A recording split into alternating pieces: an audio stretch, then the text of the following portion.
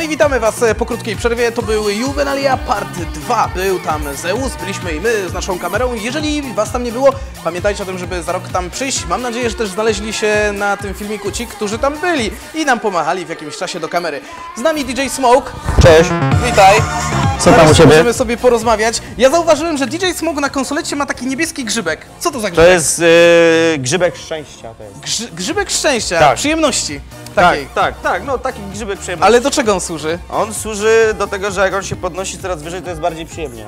Aha, czyli im wyżej, tym ach, ta dawka emocji leci do góry. Tym jest głośniej po prostu. Tym jest głośniej, no i się wyjaśniło. Myślałem, że to jakaś magiczna nazwa, wiecie, bierzecie grzybek do ust i nagle jak jest To- to przyjemnie. nie ten. To nie te grzybki. No nie ten. To nie te grzybki. No i bardzo dobrze. A powiedz mi, z czym kojarzy tobie się Kac?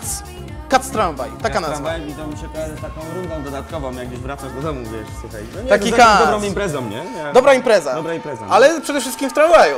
Tak, ja już kiedyś brałem udział w takiej fajnej Tak? imprezie kaska tramwajowej, no. I, I co, mega? Wiesz co, tramwajem nie jechałem, ale kaca później miałem. No i właśnie wy, Was teraz e, zapraszamy na imprezę, która nazywa się Kac Tramwaj, która organizowała, organizowana była w tramwaju, a na afterze grał DJ Koncek. Smoke!